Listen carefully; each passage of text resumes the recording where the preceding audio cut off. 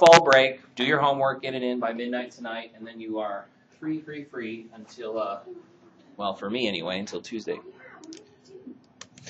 All right, so we ended last time um, talking about uh, vessel disease, particularly, you know, we talked about arteriosclerosis is hardening of the arteries. Atherosclerosis is this um, uh, disease of atheromas where endo- endothelial cell damage results in an inflammatory lesion um, that causes basically cholesterol and lipid to build up. And eventually, uh, this atheroma is, is a, it, it triggers clot formation because normally the only thing that red blood cells and platelets should see is endothelial cells because you know all the pipes, so to speak, are lined with endothelial cells. These atheromas don't have a complete endothelial cell barrier, so they trigger clot formation. Those clots can either block off that narrowed artery already, or, much is more common, they break off, travel downstream, and then they get lodged in a smaller artery where you know the, the clot is too big to go through that artery. so part of atheroma formation is cholesterol. You know, we have found a lot of cholesterol in these atheromas. So very early on, um, uh, scientists sort of figured that there was a relationship between cholesterol level and the formation of these atheromas. And that has sort of panned out because people who have high cholesterol diets um, have a, a much increased risk of atherosclerosis. So in order to understand the treatment for the cholesterol part of atherosclerosis, we have to know a little bit about how cholesterol is moved around the body, particularly about two lipoproteins that move cholesterol. So high density lipoprotein, or HDL, is manufactured by the liver, and its role is to move excess cholesterol from the body's tissues back to the liver now, cholesterol is sort of a, a, difficult thing to get rid of because the kidneys can't get rid of cholesterol because it's a fat. So the only way we have to get rid of excess cholesterol is through the liver into the bile. The bile goes into the intestine, and then the cholesterol, hopefully, stays in the intestine and then is vacated with the feces. Yeah. Are those just too big for the kidneys to get rid of them, like? No, it's water. It's the classic water and oil don't mix. So the lipids never come out into the filtrate. Um, uh, so yeah, the, they, the, the kidneys can get rid of a little, but not very much. Because there's no way to, to store lipids in the urine to pee it out. So we have to put it into the digestive tract where there's stuff that'll hold on to it. So that's HDL. So in our atherosclerosis patient, we want HDLs to be high because HDLs, that's cholesterol leaving the body. You know, and that's what we want in the patient with atherosclerosis. We want cholesterol leaving, not entering. So the, that's the good cholesterol. LDL, or low density lipoproteins, also made by the liver, but the opposite role. This is the, uh, the transporter that moves cholesterol from the GI tract or from the liver to the rest of the tissues of the body. So that cholesterol that's ending up in these atheromas was delivered in LDLs. So we want to see LDL be very low and HDL be very high because that suggests that cholesterol is moving from the vessels and out of the body. So that's the profile that we're looking at. We also want to see the total cholesterol be relatively low. So the constellation we're looking for there is a low LDL, a high HDL, and a low total cholesterol. Um, and that's just to reduce the formation of those atheromas, or even better, to actually shrink them. If we can get the cholesterol out of those, um, then those atheromas will shrink and they'll be less of a problem. so this slide just kind of shows that atherosclerosis is at the heart of three uh, or, or, multiple uh, vascular diseases or vessel problems. Um, and it comes about because of that same pathway. Atheromas narrow the vessel and can eventually occlude it. So in the heart, when the arteries get narrow, we get angina pectoris, um, which is chest pain that gets better with rest. That's the, uh, the heart is saying, I'm not getting enough oxygen. And that chest pain usually slows the patient down, and then uh, the chest pain goes away when that increased oxygen demand passes. A myocardial infarction is a total occlusion of a coronary vessel. So this is where heart muscle is going to die, like we're going to talk about in a little bit. In the brain, there are also two different versions, an ischemia version and an actual infarction version. So a transient ischemic attack is a reduction in blood flow to an area of the brain. Um, usually it's a result of a partial obstruction of an artery, similar to what you'd see in angina. Where a total occlusion of an artery in the brain, we call that a CVA, a cerebrovascular accident. Now, why we don't just call it a, uh, a cerebral infarction, I don't know, but we call them CVAs instead. Out there in the peripheral arteries, these partial obstructions can lead to peripheral vascular disease, um, particularly in the legs. And then uh, these atheromas tend to weaken the walls of these arteries, and the aorta, because it has to transmit so much blood at such high pressure, a little defect in the aortic wall can cause a kind of blowout called an, called an aneurysm, which we'll talk about um, here at the end if we get there. So all of these different disorders, atherosclerosis is either the cause of or plays a role in. So this is a big major player in cardiovascular disease, atherosclerosis. So how do we treat it? First thing we do, we try to get the patient to lose weight um, and increase their level of exercise because both of those things have shown to reduce the risk of atherosclerosis. Maintaining a healthy weight not only uh, reduces the progression, but it also lowers the risk for the bad outcomes, so myocardial infarction, CVA. Uh, we try to get them to lower their cholesterol. Now, first we do this with diet. If diet fails, then we'll uh, start putting them on the lipid-reducing medications, which work in a number of different ways. But mostly what they try to do is get cholesterol into the bile so that it's exiting from the body, lowering the total cholesterol and the, uh, and the LDL. Sodium intake should be minimized. Uh, hypertension is a risk factor for atherosclerosis. The reason for that is probably the high blood pressures actually damage the endothelial uh, uh, lining, so which is the initial trigger for athero uh, for atheroma um, development. I think our internet just came back on. So it just got my attention. Did you have a student number question waiting? Oh, no, you didn't. Hold on. Start quiz.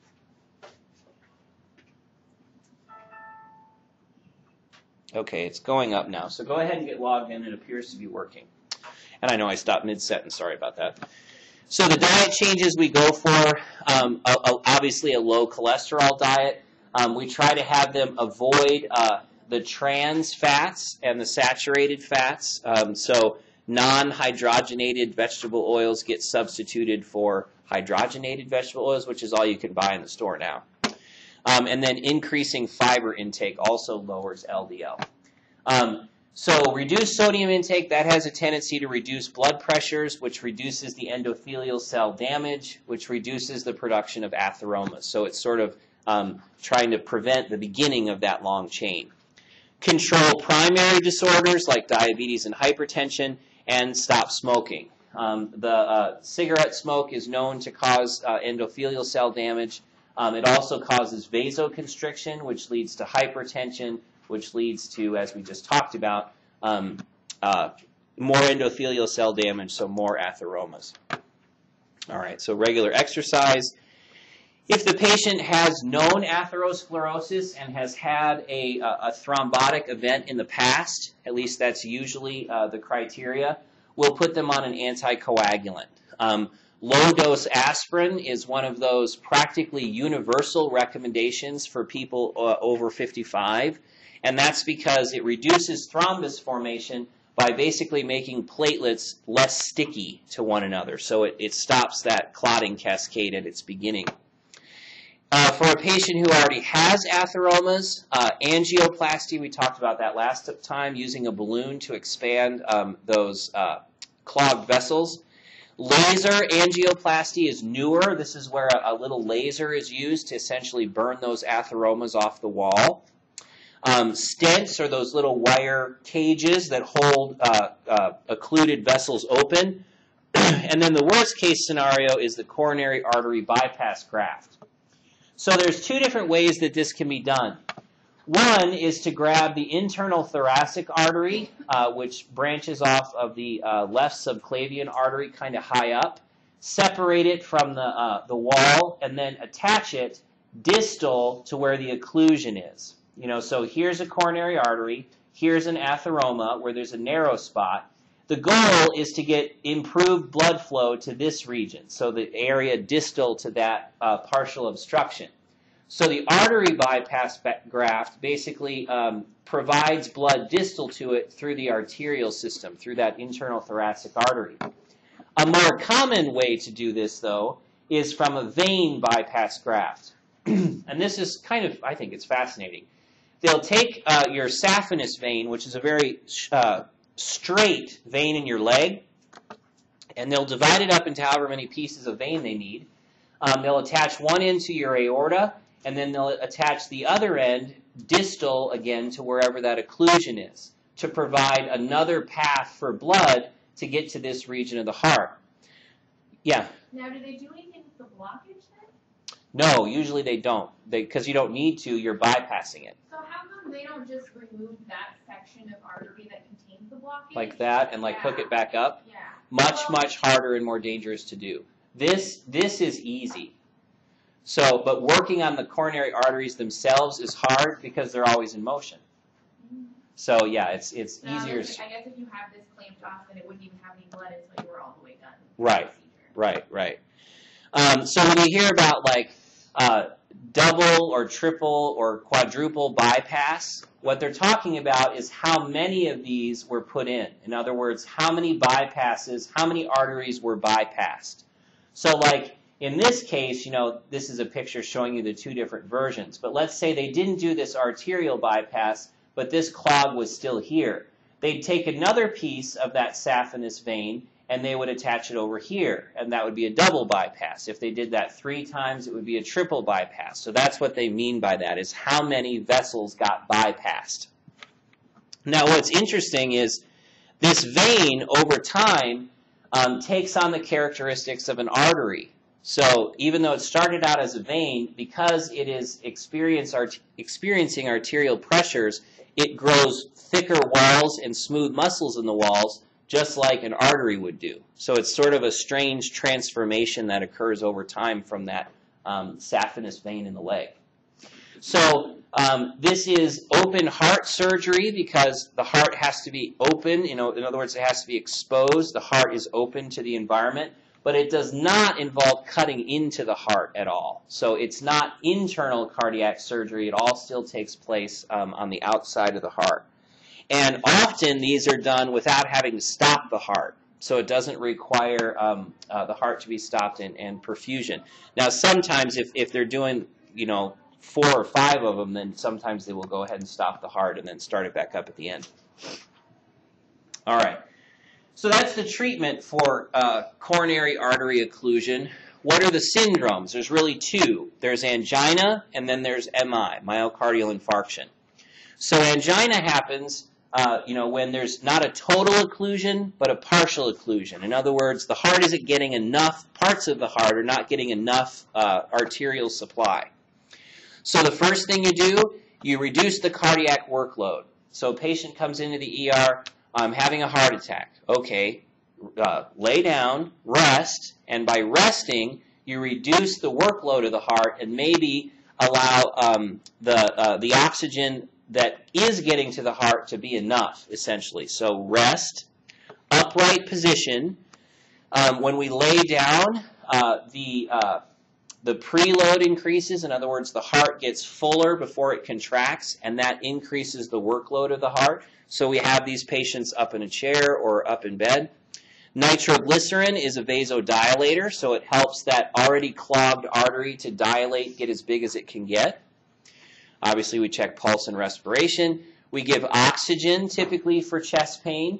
The more oxygen going in, the more oxygen is in the blood. The more oxygen that's in the blood, the less blood it takes to supply any given region of the body. So it can mean that uh, uh, enough oxygen is getting to the heart muscle to stop the pain.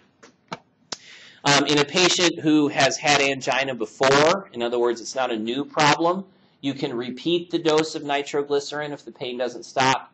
If they don't uh, have a history, then you assume it's a myocardial infarction and you get, you know, emergency medical treatment. You get them to the ER. All right. So, uh, uh, just had a block. Angina um, is uh, uh, the heart isn't getting enough oxygen. Myocardial infarction is where heart muscle is actually dying. And it's dying because it's not getting any oxygen. So one of those coronary arteries or its branches has been blocked. So a whole area of heart muscle is getting no arterial supply. No arterial supply means no oxygen. And for a busy little tissue like the heart that's contracting all the time, no oxygen for a very short amount of time is going to lead to cell death. So when those cardiac muscle cells die, um, they release their, you know, they pop open. So they release their enzymes into the blood, and those enzymes can be picked up on blood testing, which many of you who have worked out there in the clinical um, region have probably heard about some of those, which we'll talk about in a minute. If you can restore perfusion or arterial blood flow, fast enough, you can prevent heart muscle from dying, which is very much the current method of treatment for MI. You know, we want to make the, the heart, uh, we want to make the MI as small as possible because the larger the area of infarction, the more complications the patient's going to have. So we try to restore blood flow in 20 to 30 minutes. Um, we may even give uh, clot busting drugs to try to make that happen because heart muscle does not grow back. Um, muscle is very similar to nervous tissue in that fact. It does not regenerate. So whatever heart muscle dies, it's that part of the heart is never going to contract again. Now a scar forms, but that scar doesn't contract. So the heart has gotten weaker, less able to empty, less able to contract down in on itself. So that uh, scarring starts about seven days after the MI and it completes about six to eight weeks later. All right, so this is a classic MI picture. Here's your left coronary artery. This is the left anterior descending, also called the widowmaker, in case anybody has ever heard that. The widowmaker, because a big clot here and you're dead, because the left ventricle stops pumping. And once it stops pumping, obviously no blood flow to the body means uh, dead person. All right, so this is almost a widowmaker, widowmaker heart attack, but not quite, because it missed a branch. But here is our uh, thrombus, and you can see that this artery has no blood in it at all. So it's been, uh, this is an area of infarction. So in purple here is heart muscle that's getting no oxygen because it was entirely dependent upon this artery right here to get its oxygen supply. Now, surrounding that in blue is what we call the watershed area. This is area that was partially dependent upon this artery, but is also getting oxygen from other vessels as well, which you can sort of, they've drawn some of those in here. So the area of the heart that's going to die is this purple part. But the area that uh, is is a little starved is going to get inflamed. So another uh, purpose in the way we treat MIs is we're trying to save this rim of tissue from dying too, trying to keep the uh, infarction this small and not uh, this big. So after the uh, scarring has occurred, we get this kind of appearance. So you can see, you know, this is normal, healthy heart tissue all around in here, nice and thick, you know, sort of meaty looking, plenty of blood in there. This is the scar. So you can see that through the whole wall of the heart, this used to look like this. So this part of the heart is can still shorten, contract, but this part of the heart is never going to contract again. It's just going to stay that shape regardless of what the heart is doing. So this is a pretty massive heart attack. You know, this is about a quarter of the wall of the heart has been involved. This patient's going to end up with uh, heart failure because the, uh, left ventricle isn't going to be able to pump very well without um, that big chunk of uh, heart pumping along with it. All right. so anybody who thinks they're having a heart attack should seek medical care because it's not just the infarction that can kill you, it's also the dysrhythmias. When the heart starves for oxygen, its, its conduction system starts behaving abnormally. So you can uh, uh, patients their heart can suddenly stop. That's ventricular fibrillation because the conduction gets discoordinated. Um, so you want to get patients in to medical care. Uh, fibrinolytic drugs are used um, to try to restore that blood flow, bust that clot essentially to get blood flow back there, but it has to be done within the first 20 minutes. So if somebody comes in and says, "Oh, my heart, you know, I've had chest pain that won't go away for the last four hours," probably too late to do much to help them, except um, look for these dysrhythmias um, and then see how bad the damage is. So the signs of a myocardial infarction: pain, steady, severe, crushing chest pain. It usually radiates into the inside of the left arm and sometimes the left shoulder. Um, pallor and diaphoresis because of vasoconstriction. You know, the heart is panicking, so it's getting the rest of the body to panic too, sending it into that fight or flight response.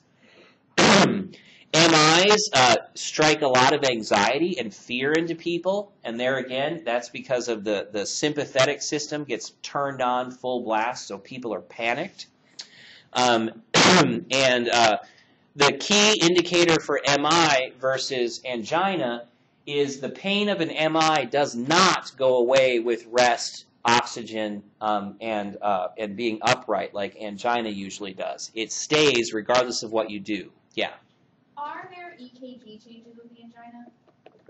With angina, uh, sometimes yes, sometimes ER, no. It was their first time with hmm chest pain, and you're trying to decide whether it's like, am I chest pain? I mean, well, I guess when they come into the ER, chest pain protocol is chest pain protocol, so they're gonna get everything regardless. Right, right. But then when you go and you hook them up to their monitor, and depending on like how you have your lead set up, you may or may not see it, like depending on where like the heart attack is. Mhm. But if someone has, are you just gonna see like PVCs with angina?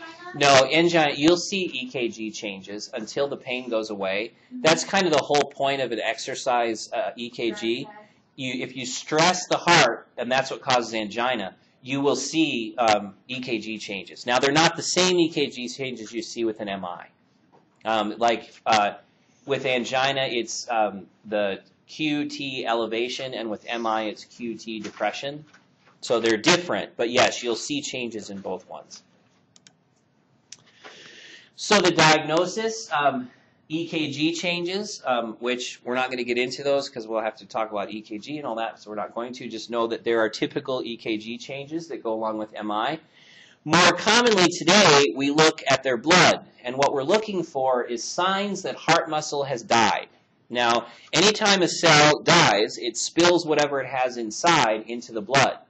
So, with fancy medical testing that we can do very easily now, we can look for cardiac enzymes and cardiac proteins um, that appear in the blood. So what we see is the pattern is different. So very early on in a heart attack, so within the first couple of hours, we see a spike of myoglobulin or myoglobin, which is a heart protein. Later, then we get uh, CK, which is another uh, heart protein, CKMB, and the, you know the list goes on and on. But typically, the diagnosis, the firm, solid diagnosis of an MI, is based on enzymes and isoenzymes. So it's based on blood testing. But other things that we're going to look for, uh, electrolyte levels can be abnormal. An increased white count because that necrosis is going to lead to an inflammatory response. So a leukocytosis, CRP, and ESR. The ABG may be abnormal. Um, and uh, the, a Swan-Ganz catheter is a way of measuring pulmonary artery pressures, probably beyond our scope here, but that can also help to determine if the heart has been uh, damaged. All right. So MIs are bad enough. The complications, though, are what the patients have to live with, and oftentimes these can be uh, really bad.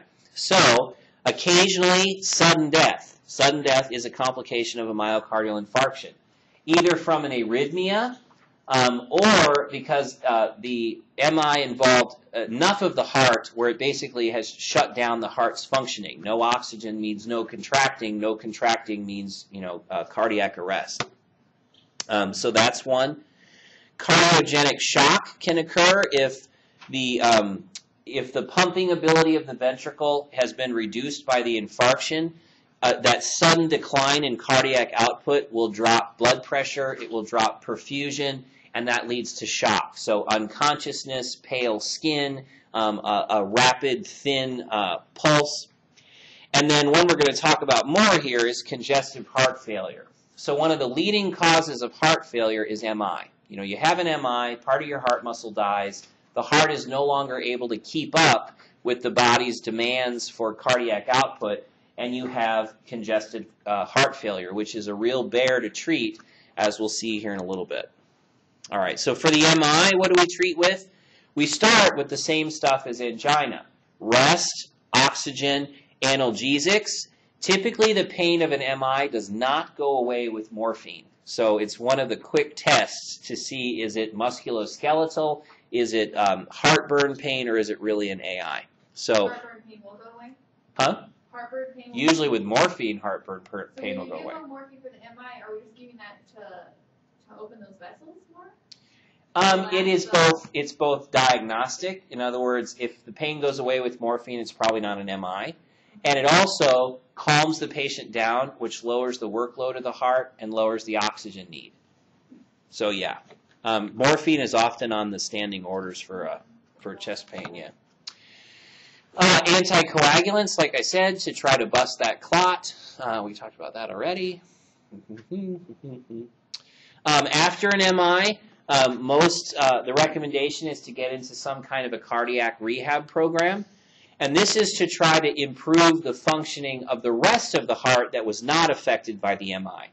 The idea here is if you strengthen the rest of the heart, then the part that's missing uh, won't matter as much. You know, so we put people on an exercise regimen. You know, they basically do cardiovascular training to try to improve the efficiency and quality of the rest of the heart so that they can survive longer without heart failure, missing a, a, contracting piece of the heart. All right, so did everybody answer the student number question? I got 10 out of 11 here. 2, 3, 4, 5, 6, 7, 8, 9, 10, 11. Okay, who don't I have? I have 9, 6, 5, 10, 3, 11, 12, 13, 2, and 4. who did I not call? Huh? You don't have fourteen? I don't have 14. Can you put it in again?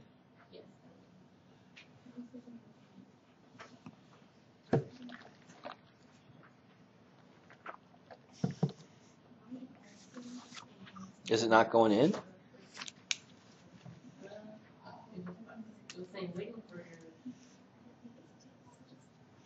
Oh, now I've got you. It'll pop up here in a minute. I don't have anything. There we go. It's because I haven't sent the question yet. Oh, I was getting the student. I was getting student numbers. Oh yeah, the timer's running out. It it starts automatically. Now here comes the question. Out through the wonderful land of Wi-Fi. Okay, what will a partial obstruction in a coronary artery likely cause? I sent the question here. There, Hold it and send. there. Now it went.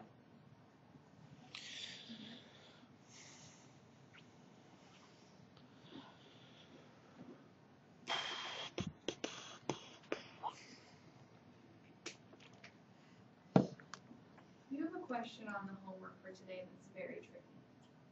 I put tricky ones on the homework on purpose. Like I don't know the answer, and I've looked in the book and Okay, let's finish up this one and then we'll. What's it about? Number nine. It's number eight. Vascular occlusions and infarcts frequently occurring with vein. Uh huh.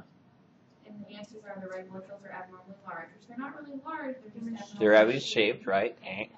Increased hemolysis of erythrocytes occurs. Erythrocytes change shape when hypoxia occurs, which is true, Uh huh. and the hemoglobin is unable to transport oxygen, which is a cause for recurrent infarcts. Which which is not true in sickle cell. It can carry oxygen is fine. It just gets into the wrong shape. So the answer there would be the one about change shape. Yeah. But this one says the deoxygenation of hemoglobin may occur in the peripheral circulation as the oxygen content of the blood is gradually reduced, leading to repeated minor infarction. Right, but that doesn't have to do with the sh- with the hemoglobin. That has to do with not having enough red blood cells. So Not enough red blood deoxygenation causes the hemoglobin to change shape, and that change in shape causes an, uh, mini infarctions. Does that make sense? So C or erythrocytes change shape when hypoxia. Yeah, yeah, yeah. You got it. All right. What does the term arteriosclerosis specifically refer to? That's really from last time. Oh, sorry. Jumping it uh, back. The correct answer there is C, angina attacks. A total obstruction would cause an MI. Um, partial obstruction is going to cause angina, which comes and goes, depending on the workload of the heart. Okay. What does the term arteriosclerosis specifically refer to?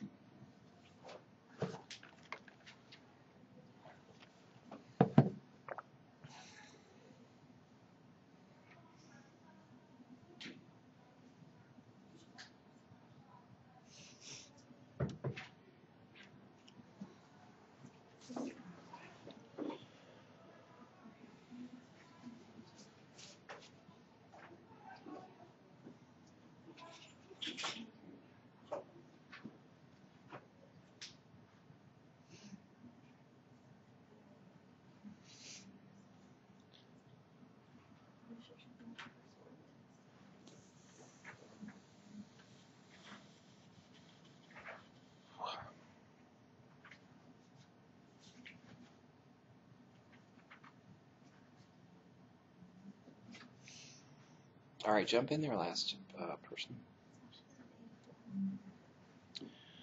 Okay, so the correct answer here is C. I want you to know the difference between arteriosclerosis and atherosclerosis because even medical professionals out there in the world use these terms interchangeably or they use the wrong one, and they're not the same thing. So, if somebody says this patient has a high cholesterol and that makes them have atherosclerosis, you should say no. High cholesterol is associated with uh, atherosclerosis, not arteriosclerosis. So they are two different things. Arteriosclerosis is hardening of the arteries, happens to everybody with age. Atherosclerosis is related to endothelial cell damage and the buildup of these cholesterol plaques called atheromas that leads to um, uh, coronary artery disease, uh, uh, cerebral blood flow disease, um, and peripheral vascular disease. So be sure to tell them apart. So A is atheromas. Um, let's see, and ischemia and necrosis is uh, is not common in the brain, kidneys, and heart in arteriosclerosis. In atherosclerosis, it is, but arteriosclerosis doesn't affect the arteries, the, the organ arteries, so brain, kidney, heart. It affects more the peripheral vasculature. All right, we're going to skip that one. Okay, so um, the a number of things can go wrong with the conduction system of the heart. Um, and we're not going to go into a big, long, you know, how to read an EKG and what EKG findings mean. But basically, the, the rhythm abnormalities um, break down into just a few categories. So bradycardia, heart speeding too slow, tachycardia, heart speeding too fast. Atrial flutter, this is where the atria, instead of contracting and relaxing and contracting and relaxing, they're just kind of quivering. Um, so atrial flutter and atrial fibrillation are very hard to discriminate against, but um, or discriminate the two. But uh, atrial flutter can reduce cardiac output. Fibrillation is where some part of the heart is just kind of quivering as opposed to contracting and relaxing. PVCs are contractions that start somewhere other than the SA node. Um, and some people, you know, lots of people have PVCs um, without uh, other heart disease. So, like, you know, if, if you really like your coffee or you really like your caffeine, chances are you throw a few PVCs from time to time, but it doesn't usually cause any harm unless they're consistent.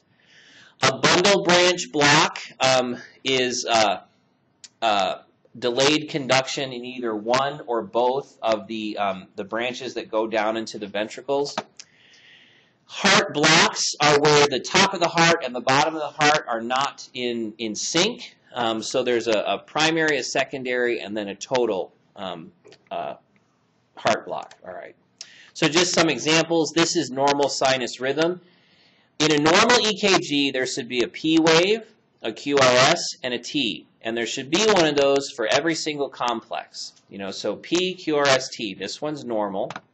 Here, okay, it's faster, but we still have a P, a QRS, and a T. It's just the P and T are kind of blending together there, which happens when your heart rate gets real high. So this would be a tachycardia, but otherwise normal. Sinus, the sinoatrial node is where uh, heartbeats usually begin. So anything that says sinus, that's it started at the right place. Here we have a good example of um, a third degree or a complete heart block.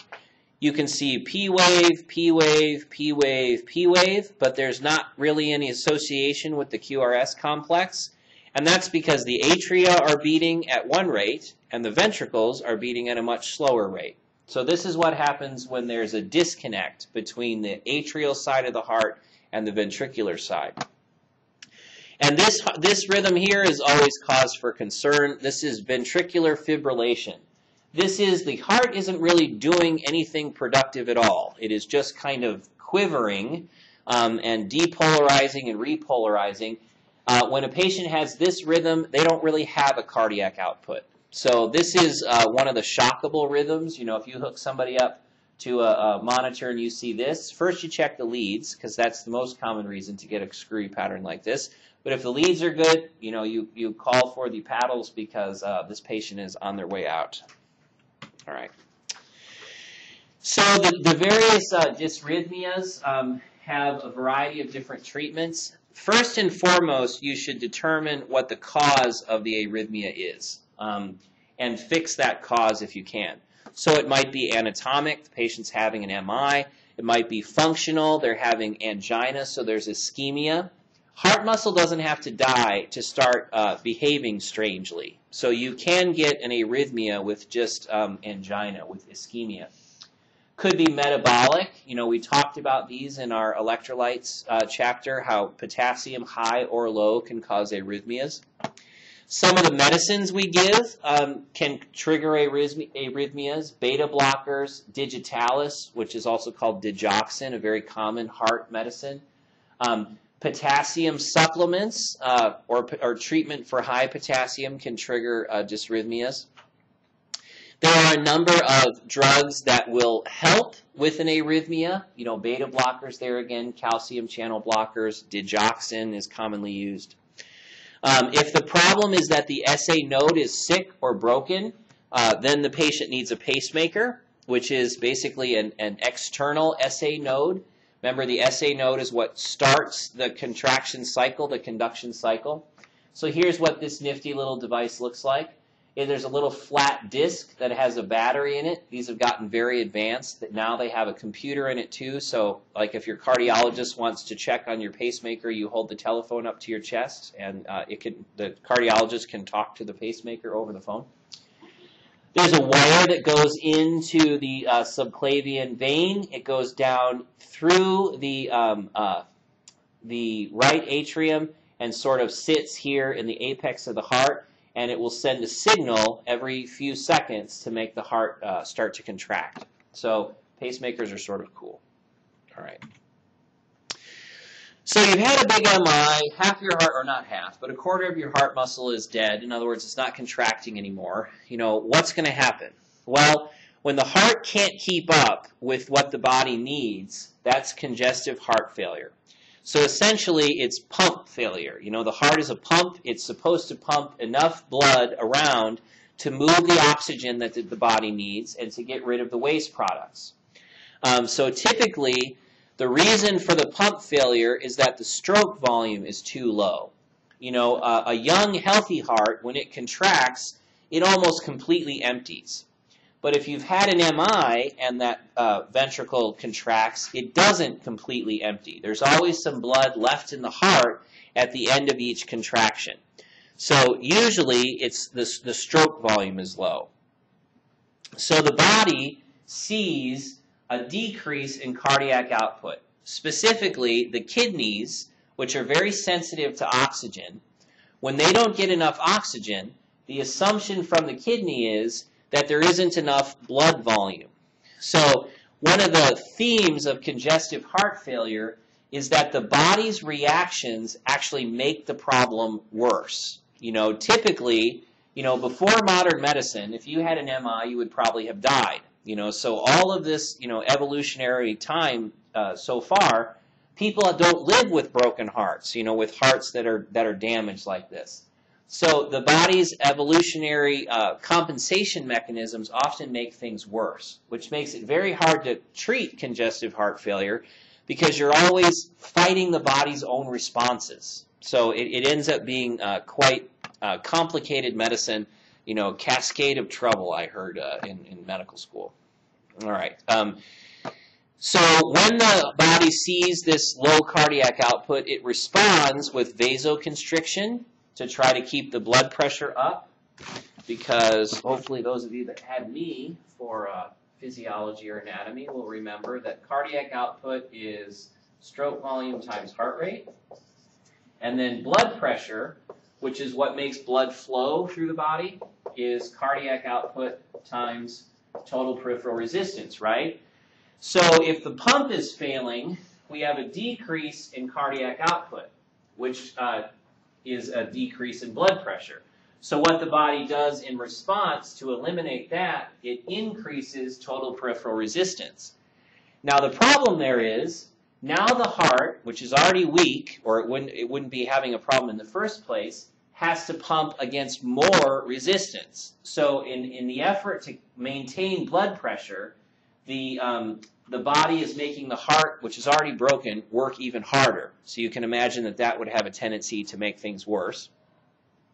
The other inappropriate um, uh, response is that a low blood pressure causes a reduction in uh, flow of blood, particularly at the kidney. And when your heart is normal, the only time this happens is when your plasma volume is low. In other words, when you don't have enough circulating volume of blood to carry everything around. So the kidney's response to this low flow is to increase plasma volume. Well, if you increase plasma volume, you have increased the workload of the heart again because now there's more blood for the already weak heart to have to pump around the system. So we have this kind of double whammy of uh, inappropriate responses. This one causes an increase in workload, workload, and this response of the body also increases workload. Both of those things further challenge the heart and have a tendency to drive stroke volume down even more. So it's sort of a vicious cycle that can go, you know, round and round. So this is a pretty good, if not messy, uh, picture right from your book. And it's uh, looking at the, the different aspects of uh, congestive heart failure. Okay, so we've had our MI up here. Loss of heart muscle. Loss of heart muscle means loss of uh, contraction strength or ability. A drop in stroke volume, so a drop in cardiac output. So we're not going to look at these yet. We're going to look at these. So how does the body respond? Sympathetic nervous system is stimulated to increase total peripheral resistance. Um, that increases the workload of the heart. And then at the kidney, the low flow triggers the release of renin, and renin goes to angiotensin, which goes to aldosterone, increases plasma volume, which also increases workload. So for a time, these compensatory mechanisms can support cardiac output, but the heart is not, it now it has more work to do and it was already weak to begin with. So typically what happens is either the left side or the right side fails first. So if the left side fails first, the left ventricle doesn't completely empty, blood backs up into the pulmonary circulation, so you get pulmonary congestion, where you have lots of fluid and extra, uh, uh, basically extra blood in the lungs. That means that it's harder for the right ventricle to pump blood through the lungs. Because essentially, you know, let's say, you know, your infarct was in the left. It backs up into the lungs. At some point, the right heart is going to have to start doing the work of the left heart, or everything's just going to back up. and the right ventricle can't do that. It only evolved to pump, you know, half or uh, to the lungs, not to the body. so eventually, the right ventricle weakens, and then we get right-sided failure. So we're going to compare the two left and right uh, sided heart failures in a minute. So how do we intervene? Well, our interventions are to try to block these compensation mechanisms. So like we might give uh, alpha blockers and vasodilators to try to drop that total peripheral resistance, make it easier for the heart to create blood pressure. Um, beta blockers, uh, which might seem counterintuitive, you know, a beta blocker reduces uh, how uh, strong the heart pumps, and you might think, well, why would we want to do that when the heart isn't pumping strong enough in the first place? And the reason for it is that it's trying to pump. Um, it's uh, we have to reduce the workload on the heart, or it's going to wear out. So essentially, we want to slow it down and like have it, you know, be nice and, and ginger about what it's doing, so it'll last longer.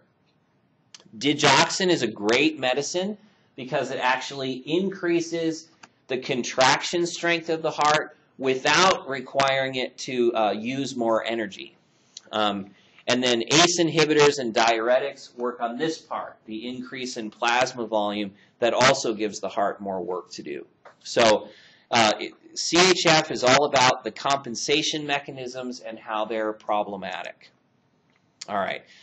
So depending on where the injury to the heart was, either the left side is going to fail first and lead to right-sided failure, or the right side is going to fail first and lead to left-sided failure. So up here we have left-sided congestive heart failure. So a weak left ventricle pumps less blood um, out to the body, and um, consequently, the blood that is returning from the lungs doesn't all get pumped out. So just like a clogged drain in your uh, in your sink, it backs up into the lungs. So the clogged drain here is the left ventricle. Blood is not leaving the left ventricle as fast as blood is entering, you know, so uh, uh, blood coming back from the lungs is, um, it backs up into the lungs essentially. So you get pulmonary uh, congestion. Eventually, this will increase the pressure of blood in the lungs because it's backed up and now the right ventricle won't be able to pump against that increased pressure, so the left-sided failure becomes right-sided failure. So that's the left side first. If it's the right side that had the heart attack, or the right side that failed first, then the first things that we see are a backup into the body. So we'll see things like ascites or fluid in the abdomen. We'll, we'll uh, get a big liver. We'll get uh, venous stasis as the blood kind of pools in the dependent areas because the right heart can't pump it to the lungs fast enough or as fast as blood is returning to the heart. so eventually, uh, just like up here, um, the right-sided failure is going to lead to a left-sided failure because now uh, the, the blood is, is backing up not getting enough to the lungs, and eventually the left ventricle is trying to pump blood through the body and the lungs, and of course it can't do that. It's not strong enough, so it fails. So the bottom line is left-sided failure leads to right-sided failure, right-sided failure leads to left-sided failure. So either way. So given that, you know, uh, uh, what we basically try to do is prevent the heart failure from cascading out of control, which is why we sort of block all the different compensation mechanisms. All right. This just compares the left and right side. Um, the biggest difference in symptoms are this last line here, backup effects. because otherwise, many of these symptoms are uh, shared in common or characteristics between left and right-sided failure. So in left-sided failure, they're all lung symptoms. So orthopnea, this is where patients, when they lay flat on their back, can't breathe. And the reason that they can't breathe is all that extra fluid in the lungs that's backed up is laying flat, so it's taking up a lot of the lung tissues.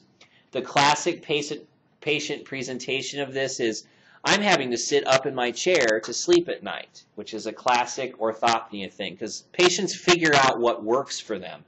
And they'll say, yeah, I haven't slept flat in bed for a year. Uh-oh. Um, so that's orthopnea. Um, cough, shortness of breath, um, nocturnal dyspnea, again, when you're laying flat, that uh, increases the pressure in the lungs. And then hemoptysis. The classic picture for left sided failure is frothy pink secretions being coughed up. So, frothy pink stuff uh, in the um, uh, being coughed up is uh, pulmonary congestion or pulmonary edema until proven otherwise. Right sided failure is all about the body um, the rest of the body. so we have edema in the feet, big liver, big spleen. Ascites is a very common one, and ascites makes abdomens big and round. How can you tell the difference between a beer belly and ascites? It's how it sounds. Um, ascites is all fluid. So if you tap on their abdomen, it sounds like a drum in ascites because it's all just fluid. It's, the sound just bounces around in there.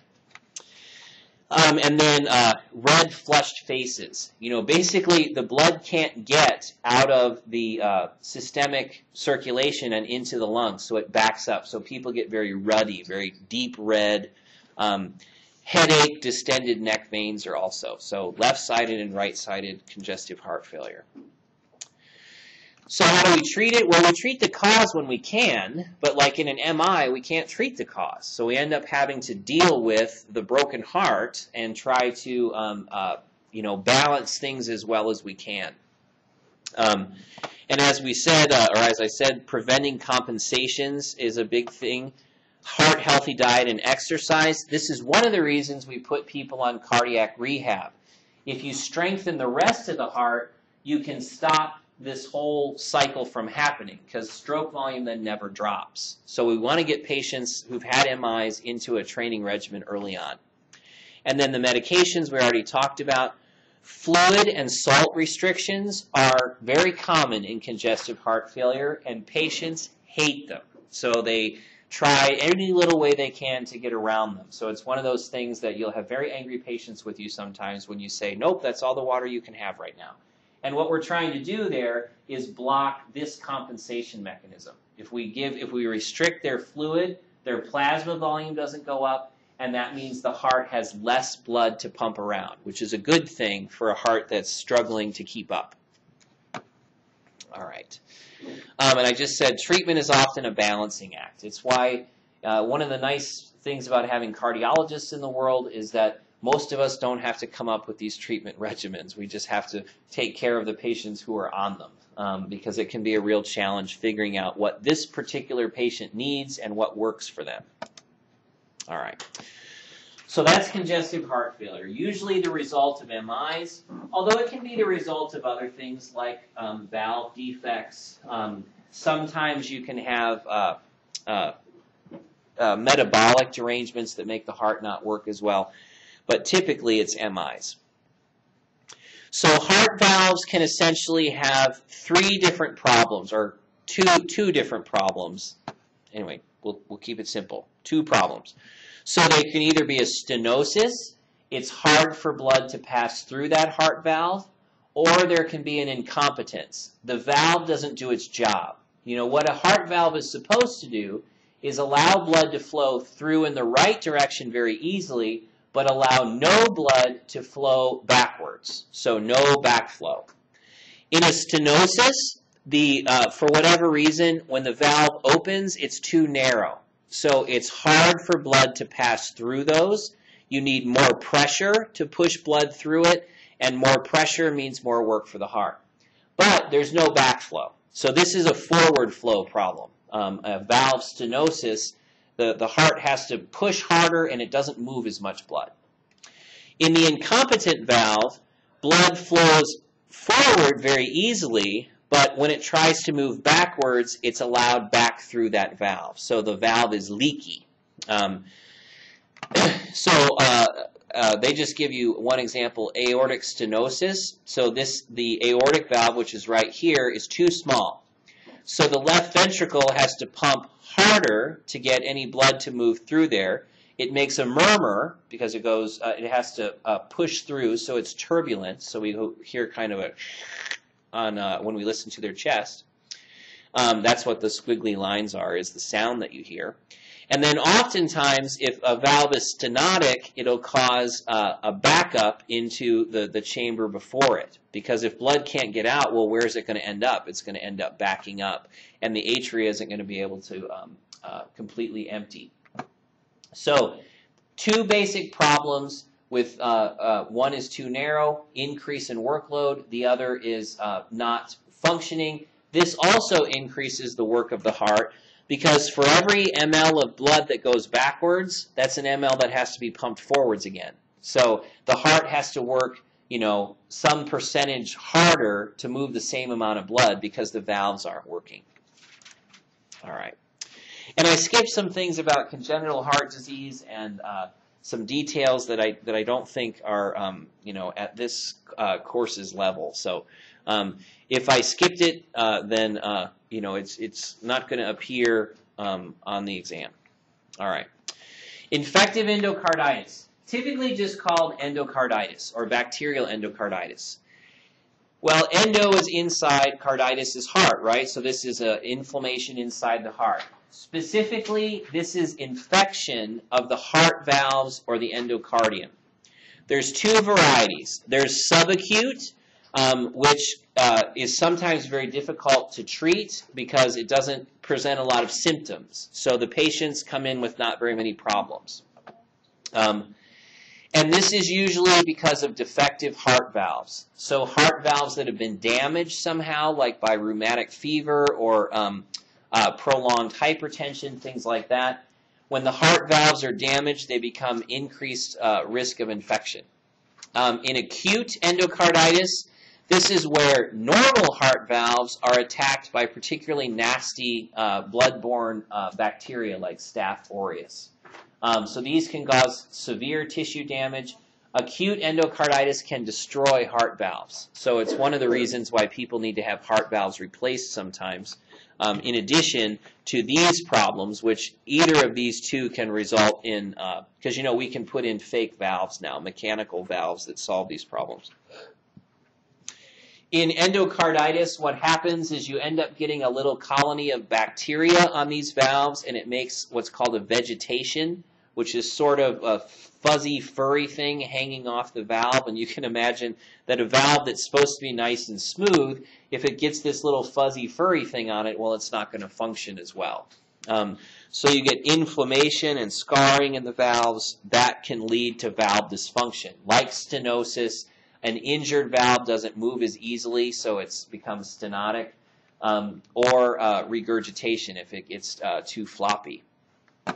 Usually in infective endocarditis, there's some risk factor.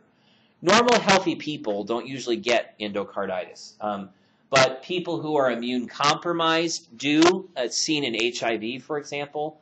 Uh, people who have damaged or artificial heart valves, artificial valves are not as good at fighting infection as the original valves are.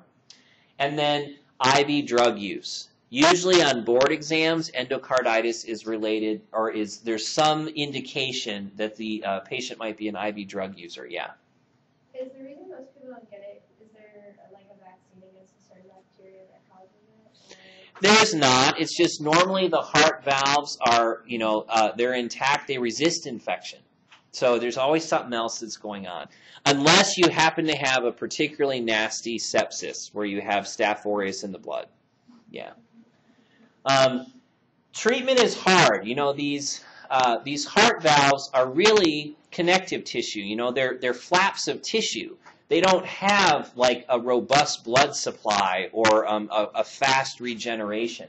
So one of the differences with endocarditis compared to other infections is you have to treat with long-term antibiotics. You know, like months and months and months of antibiotics um, in order to uh, get rid of that infection. And then if you've had endocarditis once, it means you are at an increased risk to have it again. So it's one of the times that we will treat patients with prophylactic antibiotics, as if they have a his history of endocarditis. When they go to have their teeth worked on or they go to have some minor surgery, we put them on a short course of antibiotics to prevent those bacteria from uh, taking hold in the heart again. All right. Pericarditis uh, is inflammation of the pericardium. You'll hopefully remember from anatomy that the heart sits in this leather-like sac that separates it from the rest of the mediastinum or that center part of the chest. That sac normally uh, has just a small amount of fluid in it, and then um, uh, the heart inside. Um, it's um, you know it looks sort of like this. So if, if this is the heart, the pericardial sac kind of goes like this, and then part of it is attached to the outermost surface of the heart. So in between those, we have a space. So that's the pericardial space. Typically, that space only has a small amount of slippery fluid in it, um, just enough to allow the heart to move uh, separately from what it's attached to. In a pericarditis, though, it's this uh, heart sac that is uh, inflamed. So this can be from infection, it can be autoimmune, it can be traumatic. You know, if a gunshot wound, for example, that say grazed the heart, blood in the pericardium from that bleeding um, can uh, it irritates the pericardium. Um, an effusion can develop. This is where the pericardial sac ends up with fluid in it. That fluid um, can have a variety of characteristics. It can be serous, in other words, watery, fibrinous, sticky, um, purulent. If it's an infection, you'll get pus in that pericardial sac.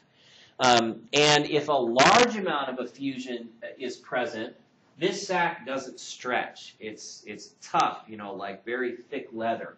So if you get a lot of fluid in here, the fluid starts to push against the heart, which makes it, you know, it's basically squeezing the heart closed.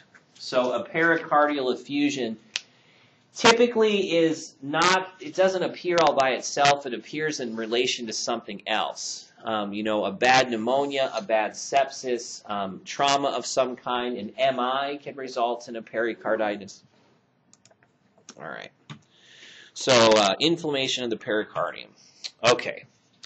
So that's sort of heart stuff in a nutshell. Um, the most complicated of which is the uh, uh, congestive heart failure, and in some ways the hardest to remember part of it is all the congenital heart defects, which you notice that we just walked right over the top of because it's, uh, it's just too complicated to get into. But the other part of the cardiovascular system is the vessels. So um, arterial disease, the most common is hypertension. Hypertension just means a high blood pressure. Usually we're referring to systolic blood pressure when we talk about hypertension. There's two broad categories. Um, essential hypertension or primary hypertension is what we're going to talk about. Um, and it is a, it's not caused by something else, is all that means. Primary hypertension is uh, a disease all by itself. Because there are a number of diseases that will cause hypertension secondarily. So, like kidney diseases are infamous for this, and that's because the kidney plays a major role in blood pressure management. So when the kidney gets sick, the blood pressure gets sick. Um, endocrine, um, uh, uh, anything that causes like the thyroid hormone to be elevated or um, the release of adrenaline or noradrenaline from the adrenal gland, those will cause uh, hypertension. For example, a pheochromocytoma is a tumor that gets looked for often but is rarely found. Um, and a, we just call it a pheo. A pheo is basically a tumor that secretes adrenaline or a tumor that secretes epinephrine. So in a patient who presents suddenly with elevated blood pressure, you know, in other words, it's they haven't had increasing blood pressure over the last five years, they suddenly have a blood pressure of 180 over 100. That's one of the things we'll look for is to see if it's a, a pheochromocytoma. Um, and then the third category is malignant or resistant hypertension. This is hypertension that's exceedingly difficult to treat. So on three or more medications, the patient is still having hypertension. Um, typically, in this malignant version, the diastolic pressures are very high, which is more of a problem than high systolic pressures. The higher your diastolic pressure, the more work the heart has to do just to open the aortic valve. So it has a tendency to uh, lead to congestive heart failure. This uh, malignant version does. But essential hypertension, the key, you know, if somebody says, uh, you know, what causes idiopathic hypertension? Well, the bottom line is that for whatever reason, the patient has an elevated total peripheral resistance.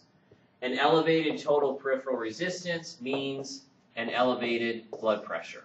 From our equation that cardiac output is, uh, or the blood pressure is cardiac output times total peripheral resistance. Typically, um, this elevated, uh, and this is where the cascade starts. So the patient's TPR is too high. Now, why is that? We don't know. Some people dial up their blood, their uh, total peripheral resistance too high, and it causes elevated blood pressure. When this goes up, that leads to um, uh, decrease in flow at the kidney. And since the kidneys are very sensitive to a decrease in blood flow, any decrease in blood flow at the kidney gets the kidney to try to increase plasma volume. Okay, now here's where the nasty cycle comes in. An increase in plasma volume has a tendency to increase cardiac output, which also increases blood pressure. So you can see that you have one of these vicious cycles. Patient's TPR is too high, low blood flow to the kidney. That causes the patient to hold on to fluid and uh, be more thirsty. So it's fluid retention that expands plasma volume, which increases stroke volume, which increases cardiac output, which further increases blood pressure.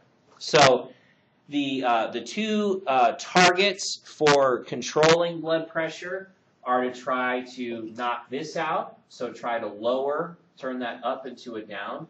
Lower total peripheral resistance, um, lower plasma volume, so, you know, take that out, uh, the kidney's response, or to directly lower cardiac output um, with uh, uh, various medications. What's the form of help that you usually see? What? Is the cardiac, they attack it from the cardiac output side? Um, no, the first thing is usually this one. They put them on diuretics first. To try to Oh, lower the plasma volume. Like fluid restriction, like, that's not gonna be good. Okay. No, no, no. They it's they don't tr- they uh, try to get them on diuretics. I think Um, ACE inhibitors attack this spot here too. Um, beta blockers uh, try to lower cardiac output and lower total peripheral resistance. And some of the alpha blockers, calcium channel blockers, work there. So those are the three main places: is they attack total peripheral resistance, plasma volume, or cardiac output. Why? Because high blood pressures damage uh, arterioles, or, or arteries, particularly endothelial cells, and can trigger that whole atherosclerosis thing that we talked about already. Another uh, risk uh, for hypertension is, let's skip here, is one of these. High blood pressure can cause the aortic wall to sort of half rupture, you know, damage over a long term. Um, can uh, cause the wall to be weak here, so pressure goes in and it basically pushes out. And eventually you can get what's called a dissecting aneurysm, where basically the aortic wall is tearing itself apart. And you can imagine that this might not be compatible with life for very long. Um, so it's one of the reasons that we treat uh, hypertension. All right. Uh, so we kind of already talked about this. Decreased blood flow, increased renin circulation. Okay, onward. Um, so treatment for essential hypertension is stepwise. We, we start simple. Lifestyle changes lower the sodium. Lower sodium means lower plasma volume. Increase exercise. That helps to fix the original problem, which is an elevated total peripheral resistance. But ultimately, a lot of patients end up on medications and it's very individualized. You know, we can start with an algorithm for treating hypertension, but people tend to diversify pretty quickly because what works for one person doesn't work for another. Um, so at first, especially, there's a lot of dialing in, you know, finding that right uh, medication choice. But the common ones that are used, diuretics affect plasma volume, ACE inhibitors actually affect this and this uh, because of angiotensin. Calcium channel blockers work on the heart as well as total peripheral resistance, um, and uh, and then beta blockers work directly on the heart too. Okay, a little bit about PVD. Peripheral vascular disease is any abnormality in the arteries or veins outside of the heart, so it's anywhere else. Now, what we typically see is problems in the distal uh, blood vessels, particularly in the um, uh, legs and feet. Atherosclerosis affects all arteries in the body, typically. Uh, so, anywhere that atherosclerosis is, and you're going to have a reduction in blood supply. So anywhere you see that pattern, atheroma, there's going to be a reduced flow on the other side of that. So if you have atherosclerosis in your iliac arteries, let's say, the arteries that supply your legs, it means the amount of blood going to your legs is going down all the time. Well, that's going to cause problems when you reach the point that the amount of blood is, can no longer supply the tissues of your legs. So your muscles, uh, the skin there. Is this in veins and arteries? No, typically it's arteries we talk about, yeah. But peripheral vascular disease is a big category. Like it would include um, uh, venous clots are also peripheral vascular disease, but your book really talks about the arterial side of it. So the signs and symptoms, this one that's uh, italicized is the, the classic board presentation. Intermittent claudication. This is leg pain associated with exercise. And it's due to ischemia. Because of this reduction in blood flow because of atherosclerosis, when you go to walk up the steps is the classic one. Um, you know, your calf muscles demand a lot more oxygen because they're working, but the uh, the uh, cardiovascular system can't provide them any more uh, blood flow because it's all restricted going down there. So intermittent claudication is pain, usually in the um, in the calves or feet with exertion. Usually it goes away with rest, not because the muscles are are uh, have gotten better. You know, it's not a muscular injury; it's a vascular problem. When you rest, the flow uh, can now keep up with the demand uh, for oxygen. Sensory impairment goes along with this. Numbness and tingling becomes just numbness. Um, and that's because inadequate blood flow kills off the neurons and it uh, makes the, uh, the skin much less sensitive. Eventually, the feet and legs get very pale and cyanotic. When they're uh, when they're dangling, they get very red because they have um, you know uh, blood is pooling down there. Diagnosis is usually by a Doppler study. You know, we can look at the arteries and veins in the legs much more directly than we can in the heart. We can just use the Doppler probe to see uh, the motion through those. The goal for uh, vascular disease treatment is to slow the progression. You know, we can't go in there and roto-root all of the atheromas out of the vascular system. It would be far too invasive. It would cause more harm than good. But we can try to keep it from getting worse and, uh, you know, it, uh, get you uh, as much exercise tolerance as possible so you can do as much as you can. So you'll see that some of these are uh, the same as for atherosclerosis, like reduced cholesterol, platelet inhibitors, anticoagulants, stop smoking, increase uh, exercise, um, uh, keep the uh, the legs dependent, in other words, down towards the ground. So this is a person you wouldn't want them to elevate their feet. You know, you'd want them even depressed a little to try to help that flow through the obstruction to get down to the feet um, and back up. Um, and then peripheral vasodilators like calcium channel blockers to try to make this artery as big as possible to have that atheroma not matter as much. So then these people don't ever, I guess, I'm trying to combine this with like edema, like Uh-huh. like diabetics. They have really bad peripheral vascular disease. So Right. Not only they have like horrible edema, but then they'll have sores that they're saying they're not taking any nutrients or oxygen to too. So it's like is that the combination of this? And It is because remember, it's That's not like just a really vicious cycle. it's not just blood that you need. You need fresh blood. Right. You know, you need oxygenated blood. So it is. You get the you get old, deoxygenated, nasty blood that sits down there. It has no nutrients in it, but it also causes edema, Mhm. which infection likes to live in. Right. Take that together with the neurologic problems, and you've got you've got feet that are falling apart, and the patient can't do anything And about then, it. like, even when you tell them to elevate, like, that's still not getting them the nutrients that they're gonna need to help. Exactly, because it's not getting blood. Got so much swelling. Yeah. So a good way to think is you've got nutrient deficiency problems and you've got waste removal problems both in the diabetic with peripheral vascular disease. It is hard to fix. You that's why we try to uh, treat diabetes early. All right, we're out of time, folks. Whew. So enjoy your uh, fall break.